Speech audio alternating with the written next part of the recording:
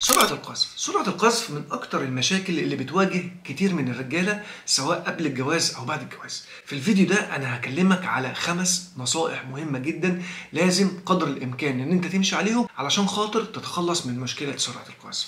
سرعة القذف هعرفها لك بشكل بسيط كده هو إن أنت بتصل للنشوة الجنسية سريعا قبل الاستمتاع بشكل كامل بالعلاقة ما بينك وما بين زوجتك.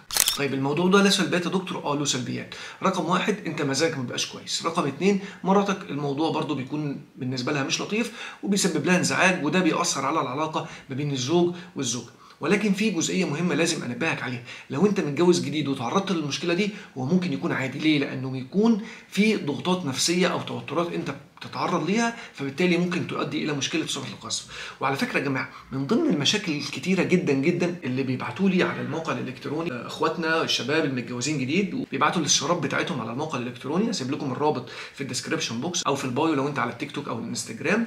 بيقولوا لي يا دكتور أنا متجوز مثلا بقالي أسبوع أو بقالي أسبوعين وعندي مشكلة سرعه القذف طيب الموضوع ده في الأول أنا اتكلمت إن هو بيكون جانب نفسي وبتكون متوتر ومحتاج إن إحنا الفترة الجاية إن شاء الله نبدأ نعمل كورس للشباب اللي مقبلين على الزواج علشان خاطر يتخلصوا من المشكلة دي. هقول لك على خمس نصائح وأهم نصيحة فيهم هي النصيحة الأخيرة لعلاج مشكلة سرعه القذف لو أنت متجوز جديد. رقم واحد التحكم في التنفس. التنفس أو إن أنت تاخد نفسك بهدوء ده بيعمل ريلاكسيشن للجسم بشكل عام وبيخليك هادي مش متسرع ومش عايز تعمل الموضوع بتاع القذف بشكل سريع فبالتالي ده بيساعدك بشكل كويس جدا تستمتع بالعلاقة ويقلل من إن أنت تتعرض لمشكلة سرعه القذف بشكل أو بآخر. رقم اثنين تقنية الضغط. التقنية دي من أهم التقنيات اللي لازم تستخدمها لعلاج مشكلة سرعة القذف ولكن احذر. ليه احذر؟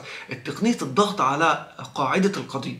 في الآخر كده عند القضيب في آخره لو أنت حسيت إن أنت هتقذف ابقى أضغط عليه. ضغطة بسيطة خالص بس ما تقفلوش. يعني ما تقفلش المسار اللي بيخرج منه السائل المنوي.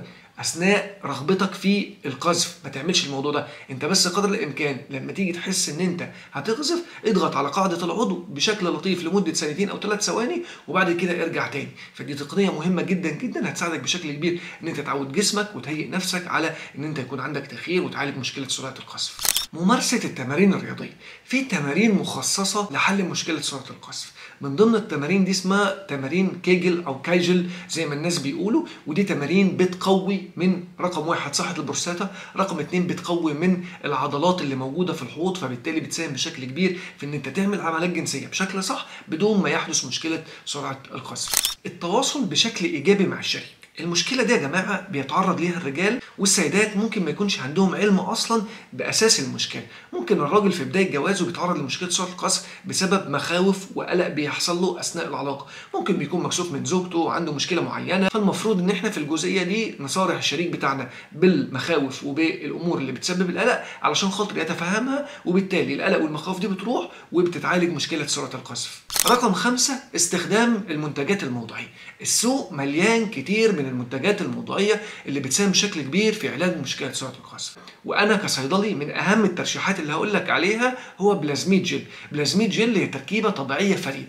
له ثلاث استخدامات. الاستخدام الأول مزلق آمن جدا جدا جدا على الذكر وعلى الأنثى.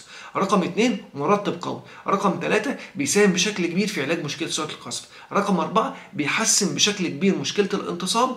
الاثنين مع بعض. سرعة القذف وضعف الانتصاب مع الاستخدام المستمر بيه. طيب بلازميد جل نقدر نشتريه منين؟ نقدر نشتريه من موقع في لايف واكبر موقع متخصص في بيع المكملات الغذائية الخاصة بصحة الرجال والنساء. دلوقتي هتلاقوا الرابط فيه على صفحة التيك توك عندي أو لو أنت على اليوتيوب هتلاقيه في في ال description box. اشتريه دلوقتي واستخدمه لمدة 3 شهور. ولو عايز أي معلومات عنه أي data عنه أو بتواجه مشكلة سرعه القذف أو ضعف الانتصاب بكل سهولة وبسرية تامة تقدر تستشيرني من الرابط اللي موجود فيه على صفحة التيك توك وهسيب لك الرابط اللي تحت. مكالمه لمده 35 دقيقة بنحل لك مشكلة سرعه القذف ونديك كل التفاصيل الكاملة لعلاج المشكلة. ما تنسوش تشتركوا في القناة ولو انت على التيك توك اعمل فولو أو على الإنستجرام.